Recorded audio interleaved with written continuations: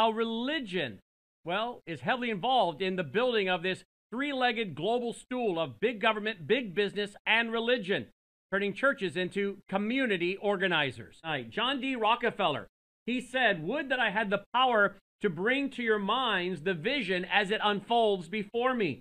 I see all denominational emphasis set aside. I see the church molding the thought of the world as it has never done before, leading in all great movements as it should.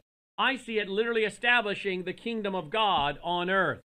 In quote. Well, of course, when he says the church, he doesn't know it, but he's talking about a false church. And indeed, we are today dealing with a false dominant global church. Much of the persecution that we are and have experienced over the last, uh, I would say, 15 years has largely come from people who claim to be in the church. Modern day evangelicalism. Some of, if you go online and you search my name, you'll see that some of my harshest critics have been self professing pastors or evangelists Many of them are false teachers. They preach a hyper Calvinism. They, they teach some of them a dominion theology. Some of them teach a social justice, whatever their different uh, issue is. But almost to a person, every one of them is to one degree or another a false teacher. Now, some of them may not like that, particularly those that are into their extreme hyper Calvinism. But that's exactly what they are. They're teaching a false gospel. They're teaching a false theology. And I would say, in fact, many of them in the hyper Calvinist world uh, are teaching a um, really, I would say, a Roman Catholicism that's been repackaged for the Protestant world. As John Calvin said, he could recreate his entire theology from the writings of Augustine or, or Augustine, however you say it. I say Augustine. So again, most of my harshest critics have come out of the evangelical world. And that's largely because of the fact that today, the evangelical world as we know it is largely become a false dominant church, and it's happening on a global scale. Just this last week in the United Arab Emirates, we had the opening of a Catholic church, a Jewish temple, and a mosque. How many of you saw that? I dealt with that earlier this week. You'll find a full uh, segment on that at wvwtv.com, wvwtv.com. Uh, and I interviewed Dr. Rob Lindsted on what we knew was coming, what was being constructed, what we talked about, and now it's officially open in the United Arab Emirates. And that is these three so called houses of worship. Again, it's a Catholic um, uh, church, a mosque, and a Jewish temple. And that is promoting an interfaith dialogue, interfaith religion. Interfaith dialogue is going to lead to a one world church. Now, why is this important? Because I'm about to take you to Revelation chapter 17, and I'm going to show you that a one world global church, a false dominant global church, is in Revelation chapter 17, verse 1. And it's what the Antichrist will use to help bring himself to power. Isn't it uh, common that politicians, particularly when it comes time to run for office, get religion? Many of them can be the biggest scoundrels, but when it comes time to gain public acceptance and to build their coalition, they start all of a sudden wanting to be religious, seen going to church, carrying the biggest Bible. Uh, one Southern governor, Bill Clinton, was known for wanting to be in the choir and be dead center in the choir because uh, he, it was on television and he was setting up to run for governor. Many people have used religion as they run for office. So, why would we be shocked that the Antichrist won't also use religion to gain global acceptance and to thus use a false dominant church to eventually set himself up as the entity to be worshiped? And in fact, he'll do away with this false dominant church out of jealousy and turn that religious system toward himself. Revelation 17 describes this. But before we get there, we first have to understand this the goal is to destroy traditional Christianity. What did Karl Marx say, the father of Marxism? My object in life is to dethrone God and destroy capitalism. What was the first one, though? To dethrone God. So much of what we see happening today is about destroying Christianity.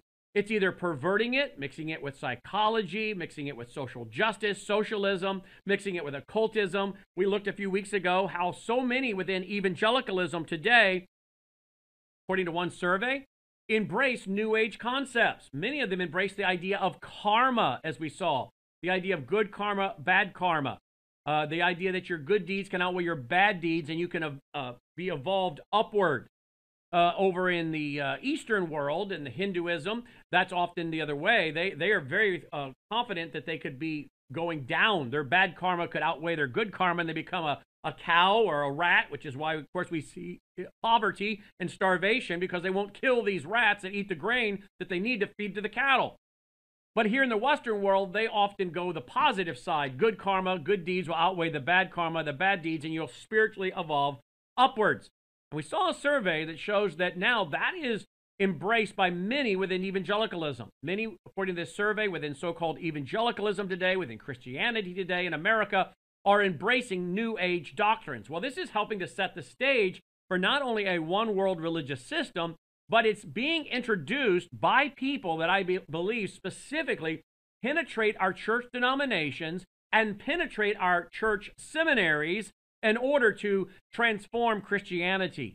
The Jesuits have been known to do this. The Jesuits have been known to penetrate other religions for a counter reformation. One of the most well known Jesuits, of course, was Teilhard de Chardin. Teilhard de Chardin was a Jesuit priest who's also known as the father of the New Age movement. He greatly influenced the United Nations and some of its leaders.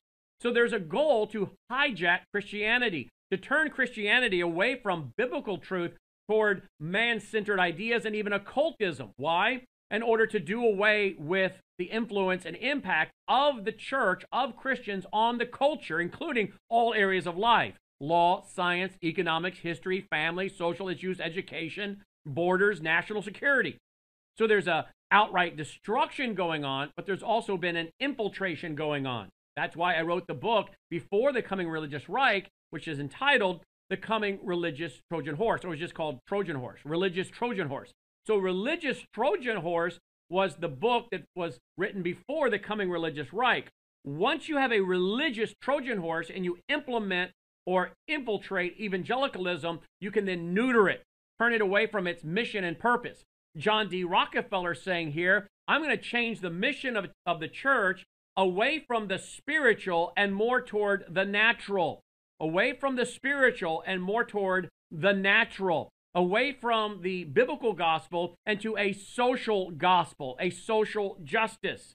Of course, we know one of the fathers of the social gospel movement was a man that was funded, that was funded by David Rockefeller, the father of the social gospel movement. He also worked with another gentleman uh, that was known as Red. Red. His, he actually had the nickname Red in his middle name because he was a known Marxist, a known Marxist. But the father of the social gospel movement uh, was being pushed by none other than David Rockefeller.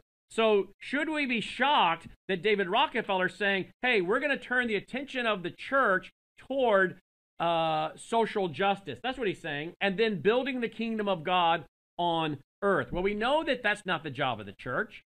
Uh, Jesus says, my in John, the book of John, chapter 18, my kingdom is not of this world. It's not from here. If it were, my disciples would fight to keep me from being turned over to the Jews. So we don't build it here. Daniel 2 says God brings his kingdom. We don't build it, God brings it. So there's a difference between the idea of building the kingdom of God, which social justice has gotten into, or dominion theology. We've got to take all the power centers of the earth and the world, and then once we've Christianized the world, then Christ can return. Till then, Christ is pretty much sitting in heaven, wringing his hands, waiting for us to get our act together and, and to take over the world with a Christian theocracy. I am not for a Christian theocracy because our goal, first of all, is not to build the kingdom of God on earth. However, that doesn't negate evangelism. And yet, the Great Commission is what?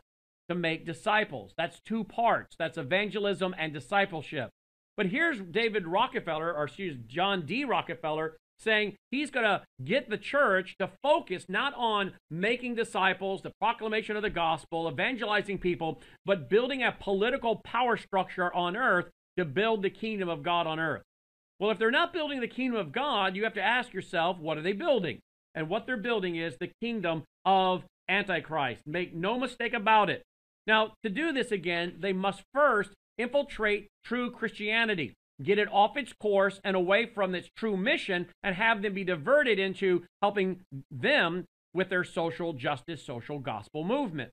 How many churches today, 20 years ago, 25 years ago, were solid evangelical churches? Today, they are nothing but social justice churches. The pastors have become community organizers. They're into pop psychology. They're into positive thinking, if you will, right? But they're not what they used to be. Those churches are now neutered. They don't have to, the globalists don't have to worry about those churches interrupting their plan because they've been neutered with poison, a false mission statement. Then, if they could not only infiltrate them, but have them come join them in their cause, all the better. So remember, Karl Marx said, My object in life is to dethrone God. So the globalists have been out to penetrate the churches in America and turn them from their real mission. Then those churches that will not conform, that will not bow down to the dictates of cultural Marxism and political correctness, what are they left to do with them? All they can do now is basically persecute those. Persecute those remaining churches into silence. Persecute them and prosecute them.